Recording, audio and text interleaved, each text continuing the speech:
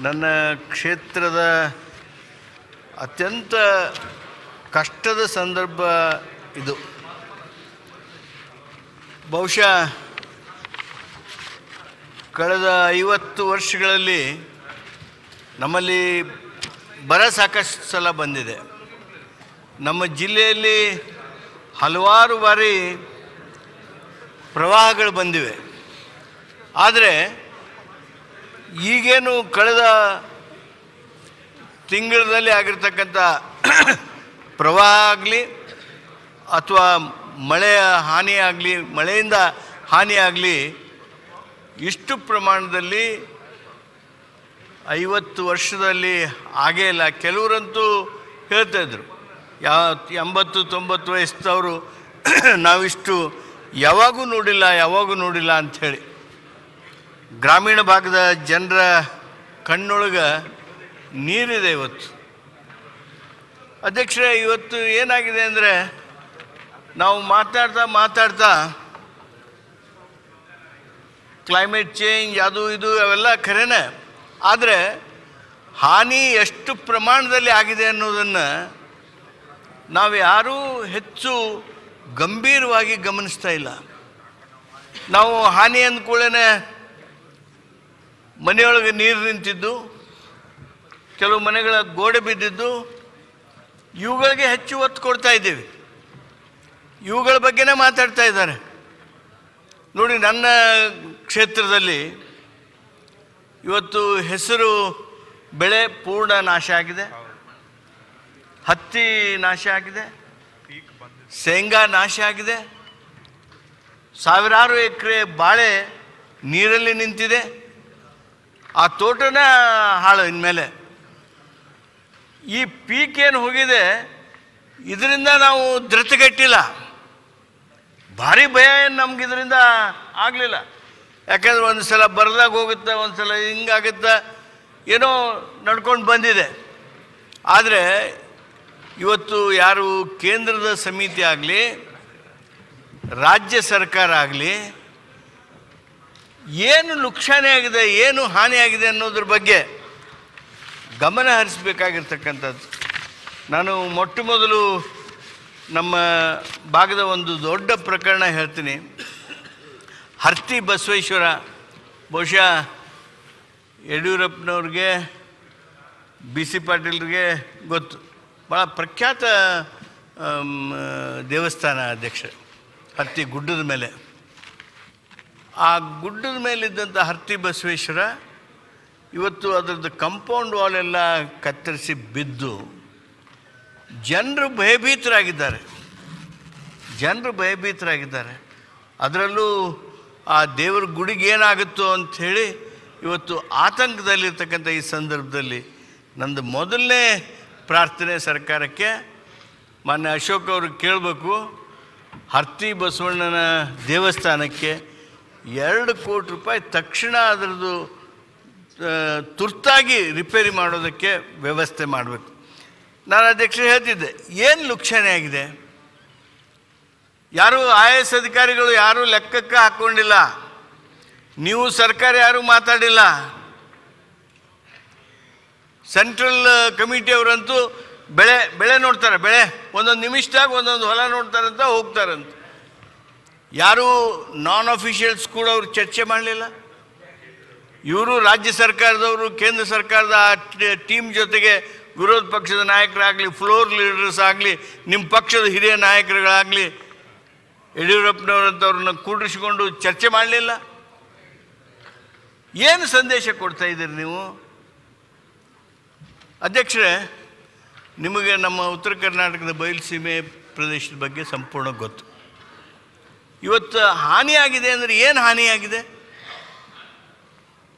ಇಲ್ಲಿವರೆಗೆ ಏನಿತ್ತು ನಮ್ಮಲ್ಲಿ ಅಂದರೆ ಯಾವಾಗ ಭಾರಿ ಹಳ್ಳ ಬಂದರೆ ಹೊಲ ಕೊರತೆ ಆಗ್ತಾ ಇತ್ತು.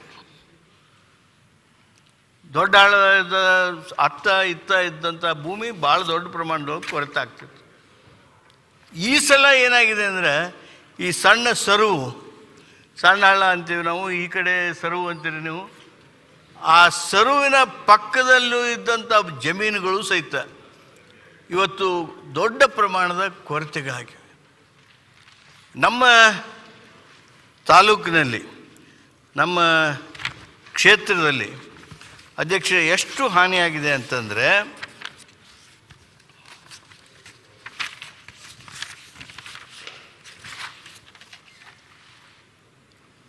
ಕುಷ್ಕಿ ಭೂಮಿ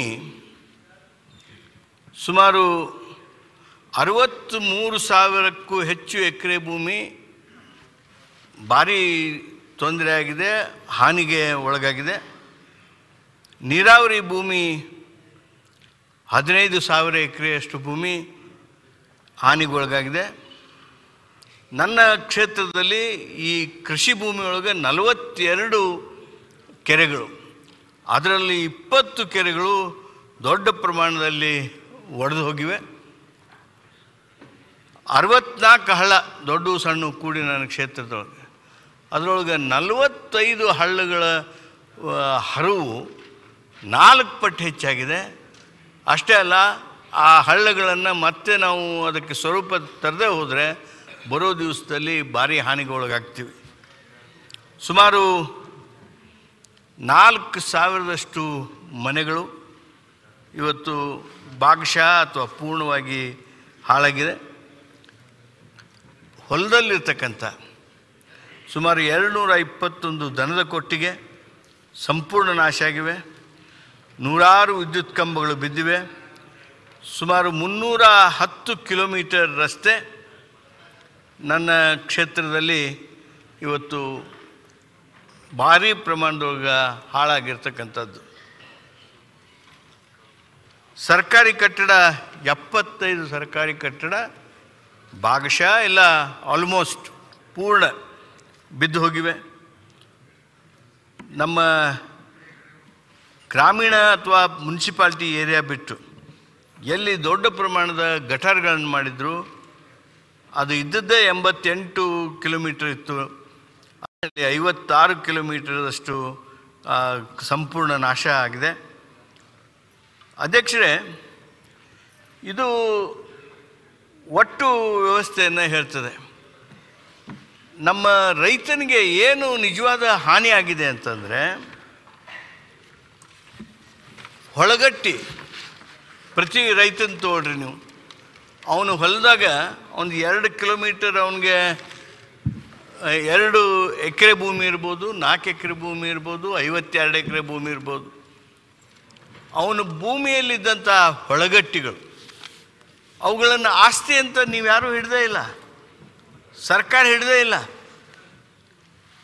ಕೃಷಿ ಹೊಂಡ, ಹನಿ ನೀರಾವರಿಗೆ ಇರ್ತಕ್ಕಂಥ ಆ ವ್ಯವಸ್ಥೆ ದನದ ಕೊಟ್ಟಿಗೆ, ಬದುವುಗಳು, ಮರಗಿಡಗಳು, ಇದೆಲ್ಲದಕ್ಕಿಂತ ಹೆಚ್ಚು ಈ ನಾವೇನು ಗಂಗಾ ಕಲ್ಯಾಣದಾಗ ಮತ್ತೊಂದ್ರಾಗ ಬೋರ್ವೆಲ್ ಹಾಕಿದ್ವಲ್ಲ? ಆ ಬೋರ್ವೆಲ್ಲು, ಪೈಪ್ಲೈನು ಇವೆಲ್ಲವೂ ಸಹಿತ ಸಂಪೂರ್ಣ ಲುಕ್ಸಾನ್ ಆಗಿದೆ. ಅಧ್ಯಕ್ಷರೇ, ನಿಮಗೆ ಗೊತ್ತು, ಯಾವುದೇ ಹೊಲ ನಿಜವಾಗಿಯೂ ಅದರ ಕಿಮ್ಮತ್ತು ಹೆಚ್ಚಿಗೆ ಆಗಬೇಕಾದ್ರೆ ಅದು ಪೀಕ್ ಹೆಚ್ಚಿಗೆ ಕೊಡಬೇಕು ಅಂದರೆ ಅದು ಸಮಪಾತಳಿ ಇರಬೇಕು ಲೆವೆಲ್ ಫೀಲ್ಡ್ ಇರಬೇಕು. ಅದು ಲೆವೆಲ್ ಒಂದೇ ದಿವಸಕ್ಕೆ, ನಾಲ್ಕು ದಿವಸಕ್ಕೆ, ಎರಡು ದಿವಸಕ್ಕೆ ಮಾಡೋಕ್ಕಾಗೋದಿಲ್ಲ. ತಲತಲಾಂತರವಾಗಿ ಭೂಮಿಯನ್ನು ರಂಟಿ ಹೊಡೆದು, ಹರಿಗಿ, ಸಾಪ್ ಮಾಡಿ ಒಂದು ಲೆವೆಲಿಗೆ ತಂದಿರ್ತಾರೆ, ಭಾರಿ ಫಲವತ್ತಾಗಿರ್ತದೆ. ಸುಮಾರು ಯ ಎರಡು ಸಾವಿರಕ್ಕೂ ಹೆಚ್ಚು ಹೆಕ್ಟೇರ್ ಭೂಮಿ ತನ್ನ ಸಮಪಾತಳಿಯನ್ನು ಕಳ್ಕೊಂಡ್ಬಿಟ್ಟದು ಆ ಲೆವೆಲ್ಲ ಹೋಗ್ಬಿಟ್ಟದು.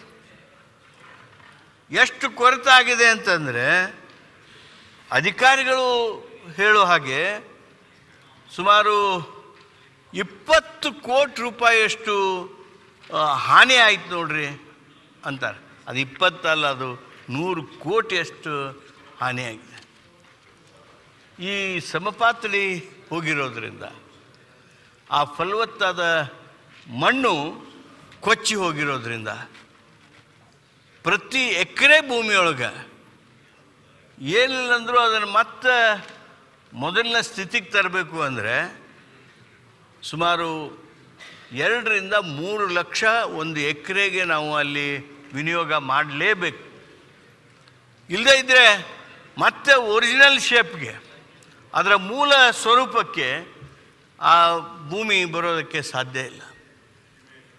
ನಮ್ಮ ಕೃಷಿ ಆಸ್ತಿ ಅಂದ್ರೆ ಮೊನ್ನೆ ಅಶೋಕ್ ಅವರ, ಕೃಷಿ ಆಸ್ತಿ ಅಂದ್ರೆ ಕಂದಾಯ ಸಚಿವರು ತಾವು ಹೊಳಗಟ್ಟಿ, ಹೊಂಡ, ಕೆರಿ, ಬದುವು, ಒಡ್ಡು ಇವನ್ನ ನೀವು ಕೃಷಿ ಆಸ್ತಿ ಅಂತ ಹಿಡಿದು ಇಲ್ಲಿ ಆಗ್ತಕ್ಕಂಥ ಲುಕ್ಷಾನಿಯನ್ನು ನೀವು ಎಲ್ಲಿಯೂ ಪ್ರಾಜೆಕ್ಟ್ ಮಾಡಲೇ ಇಲ್ಲ ಇವತ್ತಿನವರೆಗೂ. ಎಲ್ಲಿಯೂ ಹೇಳೇ ಇಲ್ಲ. ನಾನು ಆದ್ದರಿಂದ ಸರ್ಕಾರಕ್ಕೆ ಇವತ್ತು ವಿನಂತಿ ಮಾಡ್ತೀನಿ. ಎಲ್ಲಿ ಭೂಮಿಯ ಕೊರತೆ ಆಗಿದೆ, ಹಳ್ಳದ ಪಕ್ಕದಲ್ಲಿರಲಿ, ಸರ್ವಿನ ಪಕ್ಕದಲ್ಲಿರಲಿ, ದೊಡ್ಡ ಮಳೆಯಿಂದ ಯಾವುದೇ ಭಾಗದಲ್ಲಿರಲಿ, ಅಲ್ಲಿ ಒಂದು ಎಕರೆಗೆ ನೀವು ಮೂರು ಲಕ್ಷ ರೂಪಾಯಿ ಆದ್ರೂ ಅದಕ್ಕೆ ಪರಿಹಾರ ಕೊಟ್ಟರೆ ಆ ಒಂದು ಭೂಮಿ ಮತ್ತೆ ಮೊದಲಿನ ಸ್ವರೂಪಕ್ಕೆ ಬರ್ತದೆ. ಇಲ್ಲದೆ ಹೋದರೆ ರೈತ ಬದುಕೋದಕ್ಕೆ ಸಾಧ್ಯ ಇಲ್ಲ. ಇವತ್ತು ಗ್ರಾಮೀಣ ಬದುಕು ಭಾಳ ದುರ್ಬರ ಆಗಿದೆ. ನಿಮಗೆಲ್ಲರಿಗೂ ಅನ್ನಿಸ್ತಿರ್ಬೋದು ಏನಾಗುತ್ತೆ ಇದು ಆರು ತಿಂಗಳ, ಮೂರು ತಿಂಗಳ, ಅವರು ಪರಿಹಾರ ಪರಿಹಾರ ಅಂತ ಕೇಳ್ತಾರೆ. ನೀವು ಆ ವಿಮೆ ತೋರಿಸ್ತೀರಿ, ಮತ್ತೊಂದು ತೋರಿಸ್ತೀರಿ. ಒಂದು ಎಕರೆಕ್ಕೆ ಒಂದು ಸಾವಿರದ ಎರಡುನೂರು, ಮೂರು ಸಾವಿರದ ಎರಡುನೂರು, ಮನೆಗೆ ನೀರು ನಿಂತಿತ್ತು ಅಂದ್ರೆ ಹತ್ತು ಸಾವಿರ ಕೊಟ್ಟು ಕೈ ತೊಳ್ಕೊತೀರಿ. ಆದರೆ ನೀವು ಸರ್ಕಾರ ಒಂದು ವೇಳೆ ಯಾವುದು ದೊಡ್ಡ ನಿರ್ಣಯ ತೆಗೆದುಕೊಂಡು ಹೋದರೆ ನಮ್ಮ ರೈತ ಮತ್ತೆ ಇಪ್ಪತ್ತು ವರ್ಷದ ಹಿಂದೆ ಅವನ್ನ ಬದುಕು ಹೆಂಗಿತ್ತು, ಬಡತನ ಹೆಂಗಿತ್ತು, ಆ ಬಡತನಕ್ಕೆ ಅವನ್ನ ತಳ್ತೀವಿ. ಆದ್ದರಿಂದ ಇದಕ್ಕಾಗಿ ಏನು ಮಾಡ್ತೀರಿ ಅನ್ನೋದನ್ನು ಸರ್ಕಾರ ಇವತ್ತು ಚಿಂತನೆ ಮಾಡಬೇಕಾಗಿದೆ. ಅದನ್ನು ಮಾಡೋದ್ರತ್ತ ನೀವು ವಿಶೇಷವಾಗಿರ್ತಕ್ಕಂಥ ಆಸಕ್ತಿಯನ್ನು ವಹಿಸಬೇಕು. ಎರಡನೇದು ಅಧ್ಯಕ್ಷರೇ, ನಮ್ಮ ಕ್ಷೇತ್ರದಲ್ಲಿ ದೊಡ್ಡ ಕೆರೆಗಳು, ಹೊಸೂರು, ಕಣಿವೆ ಕೆರೆ ಹರ್ತಿಕೆರೆ ಶಿರುಂಜಿದತ್ತಿರ್ತಕ್ಕಂಥ ಕೆರೆ, ಇವೆಲ್ಲವೂ ಒಡೆದು ಹೋಗಿಬಿಟ್ಟಿವೆ. ನಾಗಾವಿ ಹತ್ತಿರ ಒಡೆದಿರ್ತಕ್ಕಂಥ ಕೆರೆ ಇಷ್ಟು ದೊಡ್ಡ ಕೆರೆ ಇದೆ. ಅದರ ಮುಂದೆ ಇರ್ತಕ್ಕಂಥ ಸುಮಾರು ಒಂದು ಐದಾರು ನೂರು ಎಕರೆ ಭೂಮಿ ಕೊರತಾಗಿದೆ ನೋಡ್ರಿ. ಹೊಸೂರಲ್ಲಿ ಎಪ್ಪತ್ತೆರಡು ಎಕರೆ ಕೆರೆ. ಬ್ರಿಟಿಷರ ಕಾಲದಿಂದ ಸಾವಿರಾರು ಎಕರೆ ಭೂಮಿಯನ್ನು ಅಲ್ಲಿ ನೀರಾವರಿ ಮಾಡ್ತಾಯಿದ್ರು ಇವತ್ತು ಆ ಕೆರೆ ದೊಡ್ಡ ಪ್ರಮಾಣದಲ್ಲಿ ಅದರ ಒಡ್ಡು ಒಡೆದು ಅಲ್ಲಿ ಬರೋ ದಿವಸಗಳಲ್ಲಿ ನೀರಾವರಿನೂ ಮಾಡೋಕ್ಕಾಗಲ್ಲ, ಏನೂ ಆಗೋದಿಲ್ಲ. ಅದು ಪಿ ಆರ್ ಇ ಡಿಗಿದೆ ಅದನ್ನು ಮೈನರ್ ಇರಿಗೇಷನ್ ತೋತಿರೋ, ಯಾರು ತೋತಿರೋ ತೊಗೊಂಡು ಅದನ್ನು ತಕ್ಷಣ ರಿಪೇರಿ ಮಾಡ್ತಕ್ಕಂಥ ಕೆಲಸ ಆಗಬೇಕಾಗಿದೆ. ಅಧ್ಯಕ್ಷರೇ, ನಮ್ಮ ಗ್ರಾಮಾಂತರ ಭಾಗದೊಳಗೆ ಮನೆ, ಮಣ್ಣಿನ ಮನೆ ಇರ್ತವೆ ಬಿದಿರಿನ ಮೇಲೆ ನಾವು ಆ ಮಡಿಗೆ ಹಾಕಿರ್ತೀವಿ. ಆ ಮಣ್ಣಿನ ಮನೆ ಎಲ್ಲೋ ಒಂದು ಸ್ಕ್ವೇರ್ ಫೂಟ್ ಅದರದ್ದು ಮಾಳಿಗೆ ಬಿದ್ದಿತ್ತು ಅಂದರೆ ಅದನ್ನು ಅಷ್ಟೇ ರಿಪೇರಿ ಮಾಡೋಕ್ಕಾಗೋದಿಲ್ಲ. ನೀವು ಅದನ್ನ ಪೂರ್ತಿ ಮಾಳಿಗೆನ ತೆಗಿಬೇಕು. ಅದನ್ನು ತೆಗೆಯುವಾಗ ಈ ಗೋಡೆಗಳು ಮತ್ತೆ ಬೇರೆ ಹೊಸ ಮಾಳಿಗೆ ಹಾಕ್ಸ್ಕೊಳ್ಳೋದಕ್ಕೆ, ನೀವು ಆರ್ ಸಿ ಸಿ ಹಾಕ್ಕೊಳ್ಳೋದು, ಮತ್ತೊಂದು ಹಾಕ್ಕೊಳ್ಳೋದಕ್ಕೆ ಅವು ಗಟ್ಟಿಯಾಗಿರೋದಿಲ್ಲ. ಅವನ್ನೂ ತೆಗಿಬೇಕಾಗತ್ತೆ.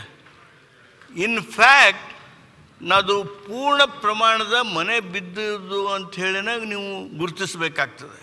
ಅದು ಒಂದೇ ಫೂಟ್ ಐತಿ, ಒಂದೇ ಗಾಡ್ ಬಿದ್ದೈತಿ, ಅಂದ್ರೆ ಈ ಹಳೆ ಮನೆಗಳನ್ನು ಮತ್ತೆ ನಾವು ಅದು ಹತ್ತು ಸಾವಿರದಾಗೋ ಐವತ್ತು ಸಾವಿರದಾಗೋ ಮೂವತ್ತು ಸಾವಿರದಾಗೋ ಕಟ್ಕೊಳಕ್ಕಾಗತ್ತೆ ಅನ್ನುವಂಥ ಕಲ್ಪನೆ ನಿಮ್ದು ಏನಾದರೂ ಇದ್ದರೆ ಅದು ಸಂಪೂರ್ಣವಾಗಿ ತಪ್ಪು ಕಲ್ಪನೆ.